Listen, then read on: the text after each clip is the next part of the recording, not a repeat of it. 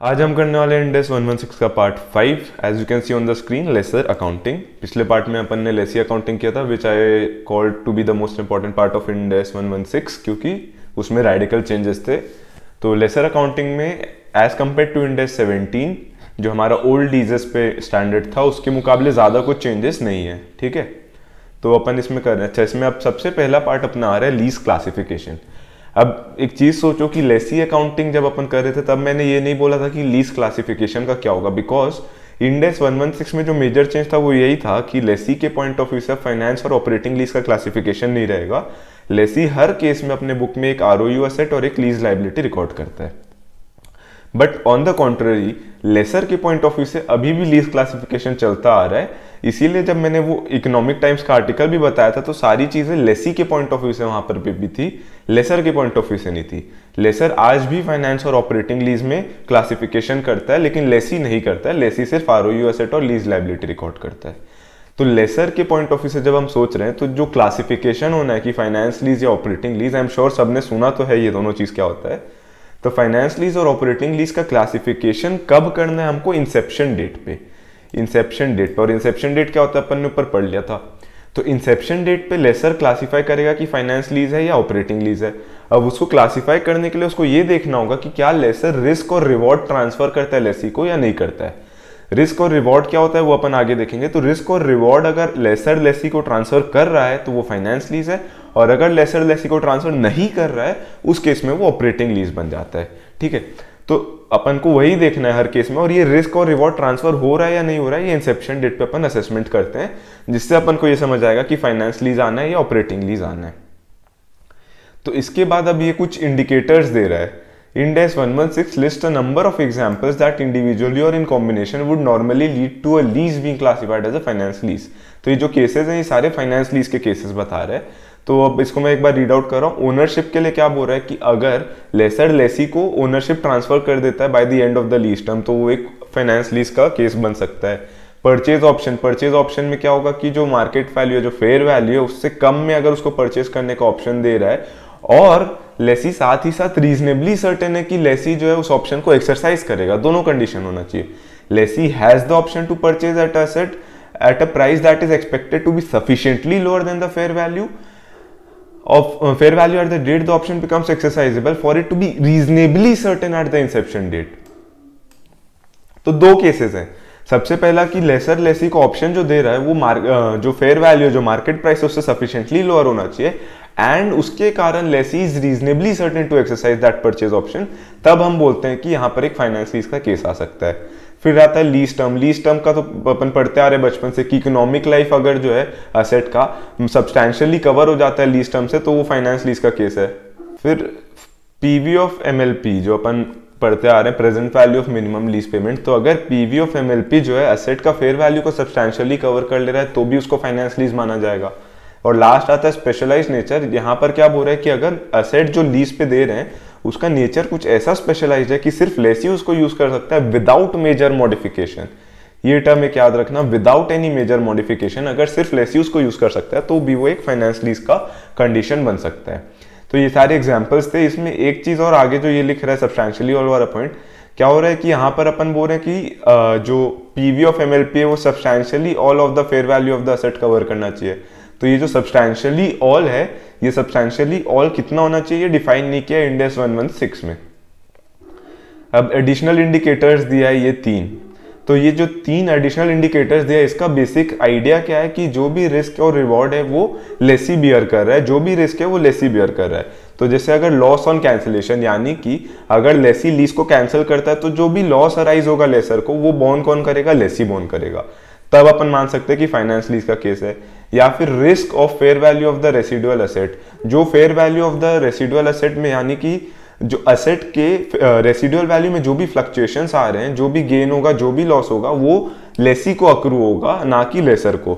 उस केस में भी अपन बोलेंगे कि फेयर फाइनेंस लीज का केस है।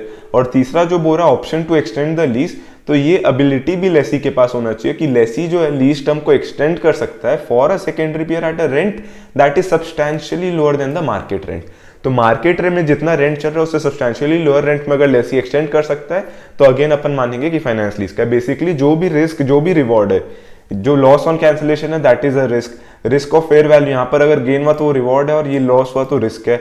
Option to extend the lease ये एक काइंड ऑफ़ रिवॉर्ड है लेसी के लिए। तो जो भी रिस्क और रिवॉर्ड है, वो क्योंकि यहाँ पर लेसी के पास है तो अपन इन केसेस में चाहे इंडिविजुअली या फिर इन कॉम्बिनेशन असेसमेंट करके ये डिसाइड कर सकते हैं कि क्या ये फाइनेंस लीज का केस है क्या। ये कुछ इंडिकेटर्स थे।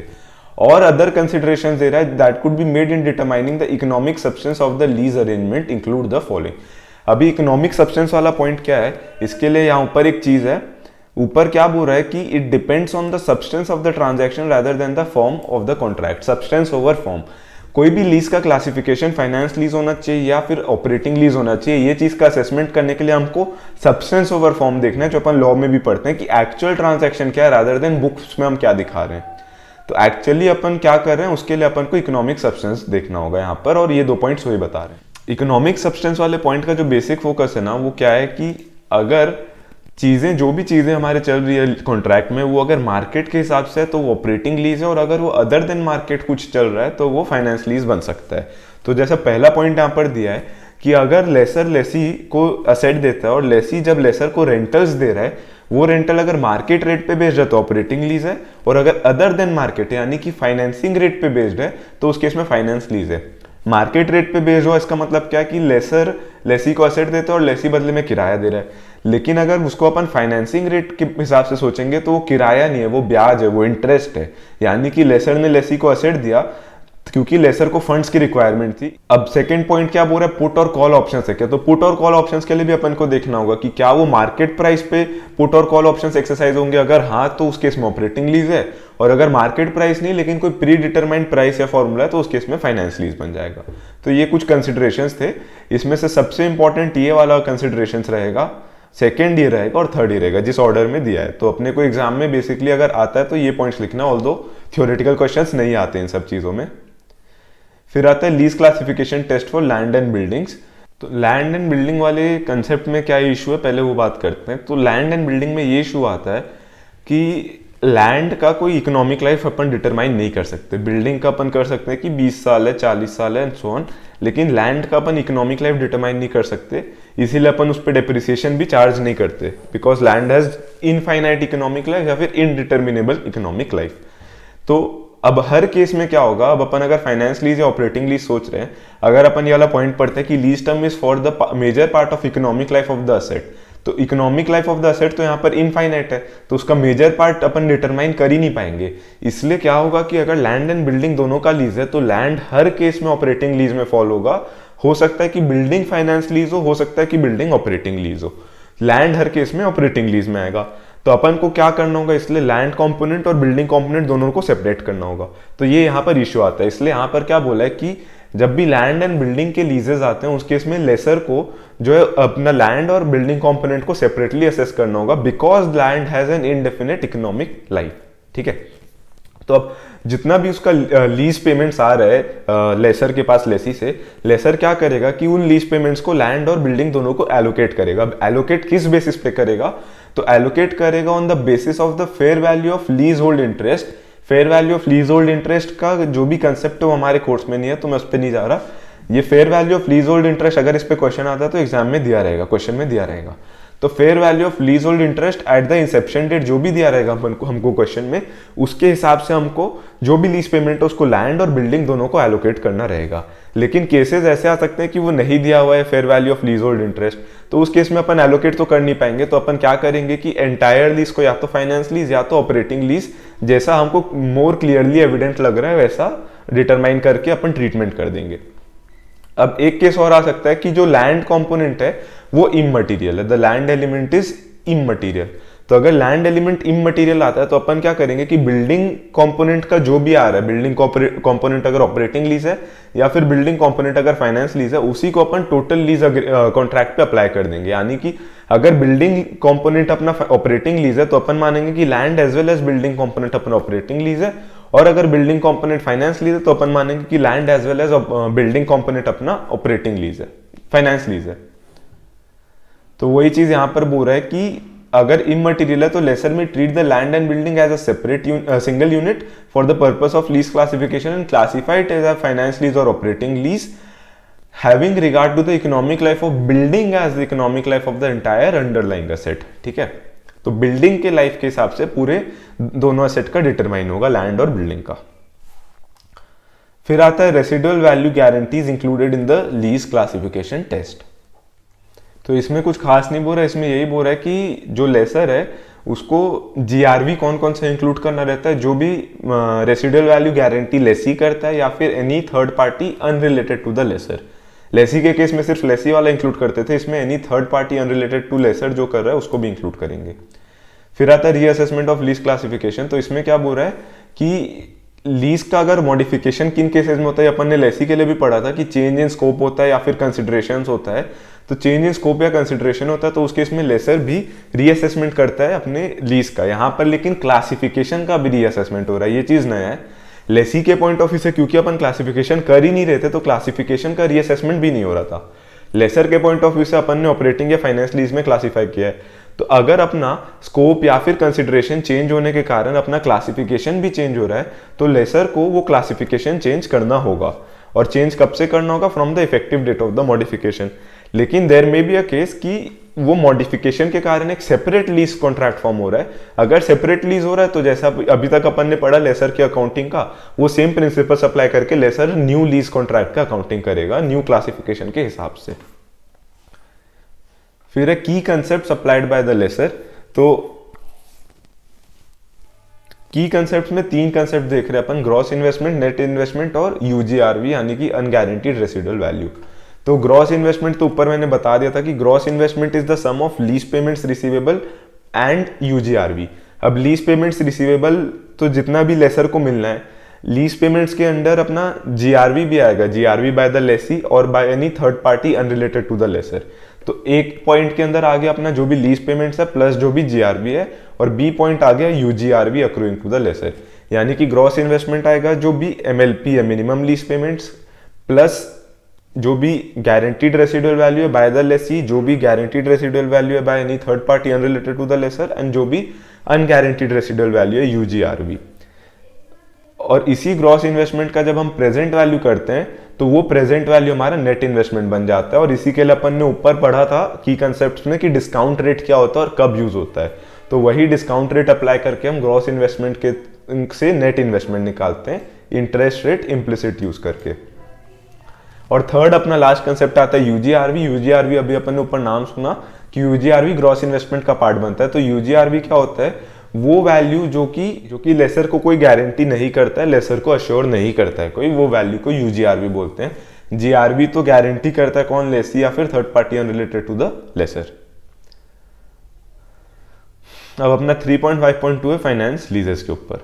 तो अब अपन देख रहे हैं कि लेसर फाइनेंस लीज का अकाउंटिंग कैसे करता है। तो एक स्टोरी अपन इसका देखते हैं, होता क्या है एक्चुअली अगर मैं लेसर हूँ और मिस्टर एक्स सपोज़ कोई है, वो लेसी है। तो अब मैं क्या कर रहा हूँ कि अपना एक असेट एक्स को दे रहा हूँ।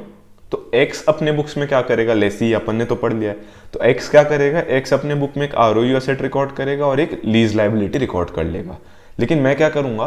तो अगर मैं फाइनेंस लीज से ये क्लासीफाई कर पा रहा हूँ because I have transferred the risk and reward to X तो उस केस में मैं क्या कर रहा हूँ कि फाइनेंस लीज है तो मैं अपने बुक से जो असेट मैंने उसको दिया, उसको डी रिकग्नाइज करूँगा और अपने बुक्स में मैं एक असेट रिकॉर्ड करूँगा। वो असेट कितने पे रिकॉर्ड होगा? At the net investment in the lease net investment यहाँ पर अभी अपन ने पढ़ा। तो जितना मेरा नेट इन्वेस्टमेंट इन लीज आ रहा है, उतने का मैं एक असेट रिकॉर्ड कर लूँगा और जो ओरिजिनल असेट का कैरिंग अमाउंट था उसको डी रिकग्नाइज कर लूँगा। तो वही चीज़ यहाँ पर बता रहा है कि लीज कमेंसमेंट पे, यहाँ कमेंसमेंट वर्ड यूज़ हुआ इंसेप्शन नहीं हुआ है। तो ये डेट्स का एक अलग से हमको याद रखना होगा कि कौन से डेट पे क्या क्या काम होता है। तो लीज कमेंसमेंट पे अपन अपना जो असेट अपन ने लीज पे दिया, उसको डी रिकग्नाइज करेंगे, जो नेट इन्वेस्टमेंट उसको रिकग्नाइज करेंगे और कोई भी प्रॉफिट या लॉस आ रहा है, उसको अपन पीएल में रिकॉर्ड कर लेंगे। उसके अलावा ये आईडीसी के ऊपर बोल रहा है कि आईडीसी जो है, वो ऑलरेडी अपना फाइनेंस लीज रिसीवेबल का पार्ट बन जाता है। उसको अलग से अपन को नेट इन्वेस्टमेंट में जोड़ना, घटाना नहीं है। फिर net investment in the lease is initially measured at the PV of MLP plus the PV of UGRV ये तो अपन ने पढ़ा। कि मैं लीज पेमेंट्स और यूजीआरबी का टोटल को ग्रॉस इन्वेस्टमेंट बोलूँगा और उन दोनों के प्रेजेंट वैल्यू को जब मैं लेके आता हूँ तो वो नेट इन्वेस्टमेंट बन जाता है। और वो प्रेजेंट वैल्यू में किस पे लाता हूँ? इंटरेस्ट रेट इम्प्लिसिट पे, जो अपन ने डिस्काउंट रेट ऊपर पढ़ा था की कंसेप्ट में। उसके बाद ये क्या बोल रहा है कि lease payments are describe in section 3.3.3 वहाँ पर ऊपर लीज पेमेंट्स के अंदर चार कंपोनेंट्स थे और उसके अलावा जीआरवी भी आता है। लेसी के लिए कौन सा जीआरवी आता है? जो लेसी गारंटी करता है। और लेसर के लिए कौन सा जीआरवी आता है? जो lessee as well as third party unrelated to the lessor guarantee करता है। उसके अलावा सेलिंग प्रॉफिट एंड लॉस कैसे आता है? वो चीज़ बता रहा है। सेलिंग प्रॉफिट एंड लॉस कौन सा हुआ? ये वाला। तो ये बोल रहा है selling profit and loss is the difference between the fair value of the underlying asset और the lease receivable if lower and the carrying amount of the underlying asset net of UGRV तो जो भी asset का fair value और जो उसका carrying amount है, दोनों का जो भी डिफरेंस आता है, वो अपना सेलिंग प्रॉफिट या लॉस बन जाएगा। फिर ये आता है मैन्युफैक्चरर और डीलर के पॉइंट ऑफ़ व्यू से। यहाँ पर भी other than those involving manufacturer और डीलर लेसर्स का पढ़ रहे अपन अब मैन्युफैक्चरर और डीलर लेसर रहेंगे तब क्या होगा? ये आता है।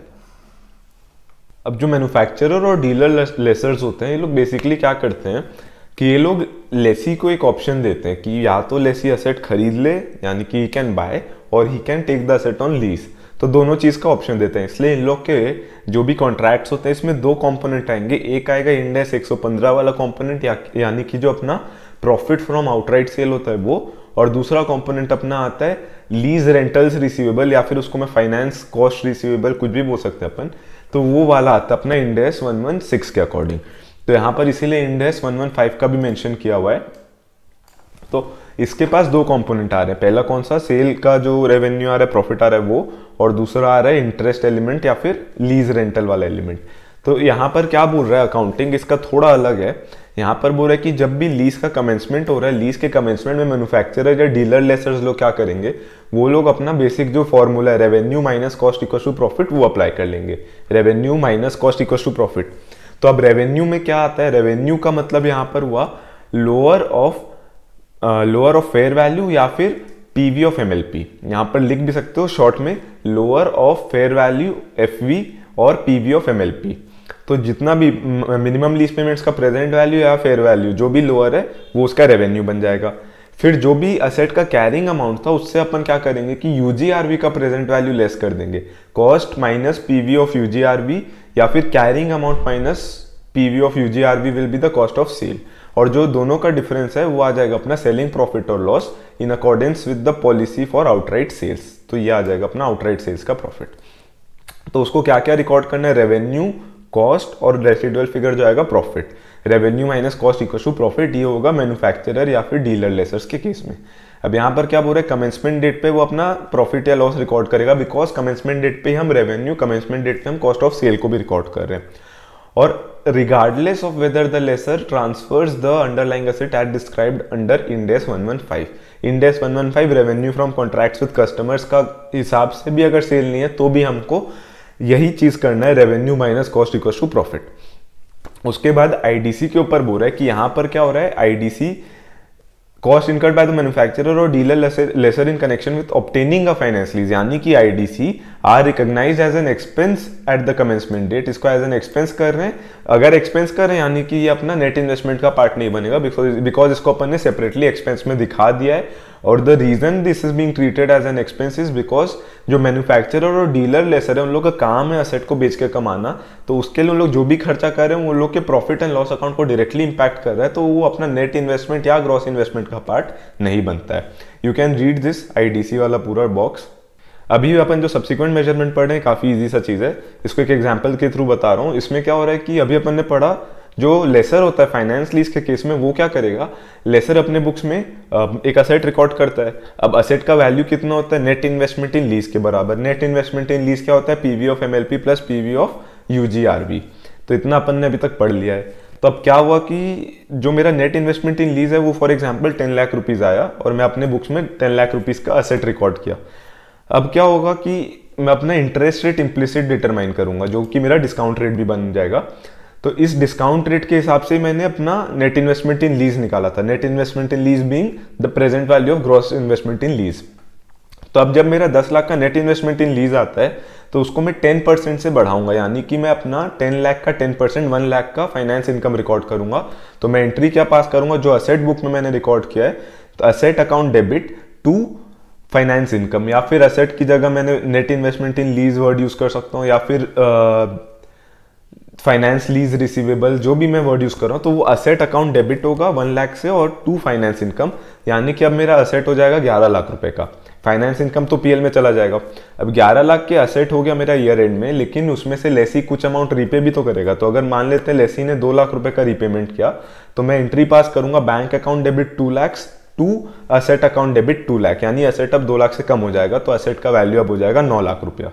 तो वही चीज़ बोल रहा है कि फाइनेंस इनकम रिकॉर्ड करना फाइनेंस इनकम रिकॉर्ड करेंगे तब एंट्री होगा asset account debit to finance income और एक और क्या बोल रहा है कि reduce the net investment in lease for the lease payments received यानी कि bank account debit to asset account फिर अपन ने ऊपर पढ़ा था कि लीज पेमेंट का पार्ट होता है variable payments which are dependent upon any index और रेट लेकिन उसके अलावा जो भी वेरिएबल पेमेंट्स होते हैं, उसको लेसी भी अपने बुक्स में पीएल में एक्सपेंस दिखाता था। सिमिलरली लेसर भी अपने बुक में पीएल में डायरेक्टली एज एन इनकम दिखाएगा। तो यही बोल रहा है कि separately recognise the income from variable lease payments that are not included in the net investment और नेट इन्वेस्टमेंट में कौन सा इंक्लूड नहीं होगा? जो इंडेक्स और रेट पर डिपेंडेंट नहीं है। यानी कि जो परफॉर्मेंस या फिर यूजेज पर डिपेंडेंट है।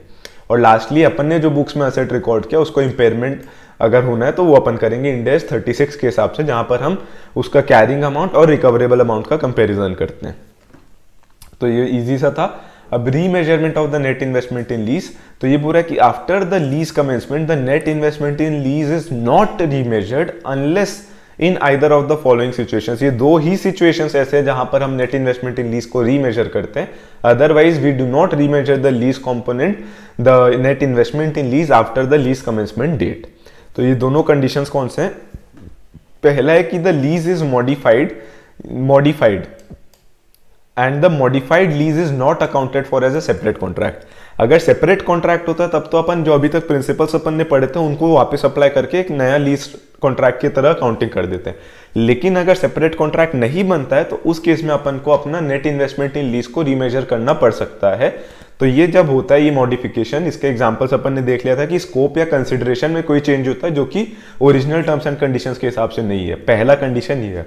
और दूसरा कंडीशन क्या है कि lease term is revise when there is a change in non cancellable period of the lease lease term का डेफिनेशन अपन ने पढ़ा था, जहाँ पर दो तीन कॉम्पोनेंट से एक नॉन कैंसिलेबल पीरियड फिर दूसरा कि कौन सा ऐसा पीरियड है जो lessee is reasonably certain to extend और कौन सा ऐसा पीरियड है which the lessee is reasonably certain to not terminate तो इसमें जो पहला वाला कंपोनेंट था नॉन कैंसिलेबल पीरियड अगर उस पीरियड में कोई रिवीजन होता है तो अपन अपना नेट इन्वेस्टमेंट इन लीज को भी रिवाइज कर सकते हैं। तो दो ही केसेस हैं। एक होता है modification which does not result in a separate contract और दूसरा होता है change in the non cancellable period of the lease term अब ये इलस्ट्रेशन देख लेना। तो अभी अपन ने देख लिया कि फाइनेंस लीज होगा तो लेसर क्या क्या करता है। अब अगर ऑपरेटिंग लीज होगा, तब लेसर क्या करेगा? तो इसमें क्या बोल रहा है कि अब ऑपरेटिंग लीज में सोचना क्या होगा कि लेसर के पास लेसी कुछ रेंटर्स दे रहा है और कुछ नहीं हो रहा है। लेसर अपने बुक्स में अब क्या करेगा? असेट वसेट रिकॉग्नाइज या नया कुछ असेट रिकॉग्नाइज नहीं करेगा नॉर्मल बस किराया आ रहा है, वैसा रिकॉर्ड करेगा।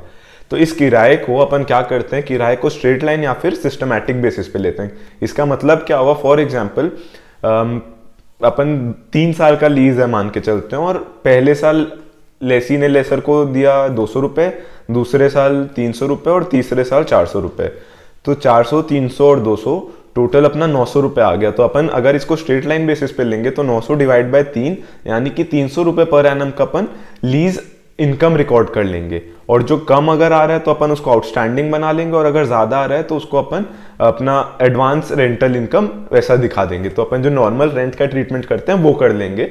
ये होता है स्ट्रेट लाइन बेसिस। लेकिन अगर ये बेसिस नहीं मान के कुछ और बेसिस अगर लेसर को लग रहा है कि वो ज़्यादा बेटर है तो लेसर वो बेसिस को भी यूज़ कर सकता है। मुद्दा ये है कि उसको ये बताना है कि किस पैटर्न में उसको बेनिफिट्स मिल रहा है। जो भी मेथड उसको लगता है कि जो ज़्यादा अच्छे से उसको डिपेक्ट कर पाता है, वो मेथड को लेसर यूज़ कर सकता है। इसके अलावा ये एक कॉम्पोनेंट हुआ। दूसरा कॉम्पोनेंट अपना आता है variable lease payments that do not depend on index और रेट तो ये वाले चीज़ को as and when the lessor earns it वो अपने पीएल में डायरेक्टली रिकॉर्ड कर लेगा। और तीसरा चीज़ आईडीसी के ऊपर Ind AS 116 operating lease lessor operating lease lessor Ind AS 116 क्या बोल रहा है? कि उस केस में लेसर जो है आईडीसी को डेफर करके उसी सिस्टमैटिक बेसिस पे या उसी स्ट्रेट लाइन बेसिस पे रिकॉर्ड कर लेगा, जिस बेसिस पे अपने लीज इनकम को रिकॉर्ड कर रहा है।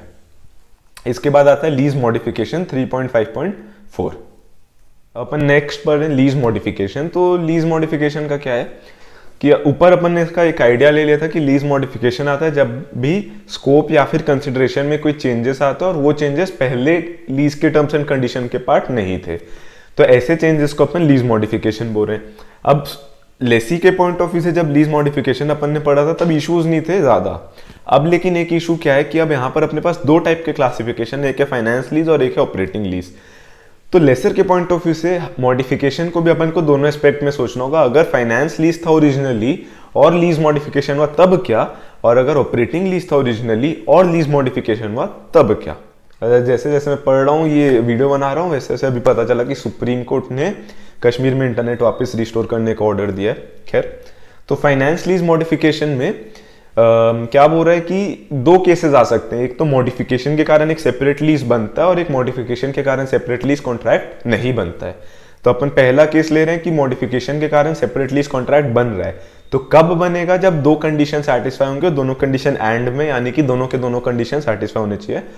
कंडीशन ये है कि जो मॉडिफिकेशन है, उसके कारण लीज कॉन्ट्रैक्ट का स्कोप बढ़ रहा है एज वेल एज कंसिडरेशन बढ़ रहा है। To make it commensurate with the SSP यानी कि स्टैंड अलोन प्राइस के कमेंसुरेट लाने के लिए कंसिडरेशन भी बढ़ रहा है।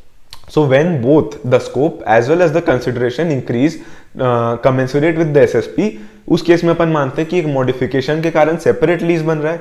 और अगर सेपरेट लीज बन रहा है तो अभी तक जो भी प्रिंसिपल्स अपन ने लेसर अकाउंटिंग के पढ़े उन प्रिंसिपल्स को अप्लाई करके अपन नए लीज कॉन्ट्रैक्ट का सेपरेट लीज कॉन्ट्रैक्ट का रिकॉग्निशन करेंगे। अब कट सेकेंड केस आता है जो कॉन्ट्रेरी की सेपरेट लीज कॉन्ट्रैक्ट नहीं बन रहे तो अगर ये दोनों कंडीशन जो थे ए और बी ये मीट नहीं होते तो अपन आते हैं कि सेपरेट लीज कॉन्ट्रैक्ट नहीं बन रहा है। सेपरेट लीज कॉन्ट्रैक्ट नहीं बन रहा है तो इसमें क्या हो रहा है? पहला चीज़ ये बोल रहा है कि the lease would have been classified as operating with the modification at the inception date अच्छा एक चीज़ मॉडिफिकेशन हो रहा है और अगर सेपरेट लीज कॉन्ट्रैक्ट नहीं बन रहा है तो इसको अपन ने ऊपर पढ़ा था कि this is one of the condition which is required to reassess to remeasure the net investment in the lease contract ये रहा। Remeasurement of the net investment in lease का जो पहला कंडीशन है, वो यही है कि लीज में कोई मॉडिफिकेशन होता है which is not accounted for as a separate contract तो ये वही कंडीशन है, ये वाला।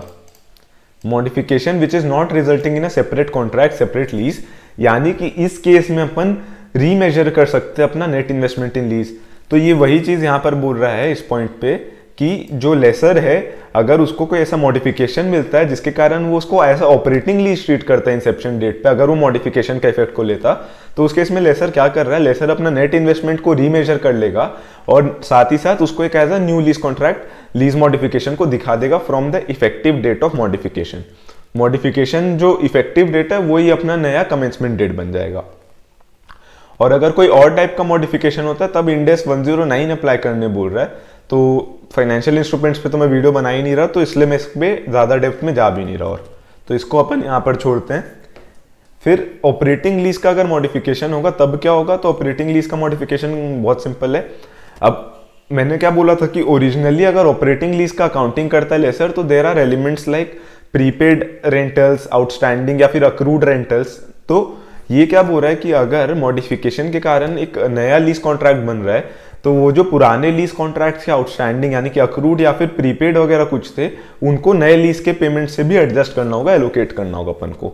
ये हो गया, इसके बाद presentation of finance lease and operating lease आता है। तो फाइनेंस लीज का प्रेजेंटेशन देखते हैं। Lessor recognises assets held under a finance lease in the balance sheet and present them as a receivable at an amount equal to the net investment in lease ये अपन ने पढ़ा ऊपर कि एक असेट आएगा equal to net investment in lease साथ ही साथ क्या बोल रहे हैं? In addition the net investment in lease is subject to the same consideration as other asset in classification as current और नॉन करंट असेट यानी कि अपन को ये देखना होगा क्या वो असेट 12 महीने के ऊपर रिसीवेबल है या 12 महीने के अंडर तो 12 महीने के ऊपर है तो नॉन करंट में जाएगा 12 के अंदर है तो करंट में जाएगा। अब ऑपरेटिंग लीज के लिए क्या बोल रहा है? Lessors are required to present underlying asset subject to operating lease according to the nature of that asset यहाँ पर क्या हो रहा है कि यहाँ पर अपन अपने बुक से असेट को डी रिकोगनाइज नहीं करते। तो ये उसी लिए बोल रहा है कि जो भी अंडरलाइंग असेट है, उसी को लेसर अपने बुक्स में रिकॉर्ड कर लेगा और बाकी इंडेस 116 में अभी तक जो अपन ने पढ़ा, वो सब चीज़ों को अप्लाई कर लेगा। और डिस्क्लोजर्स एक बार रीड आउट कर लेना। तो नेक्स्ट वीडियो में अपन अदर मैटर्स करेंगे 3.6 और वो लास्ट वीडियो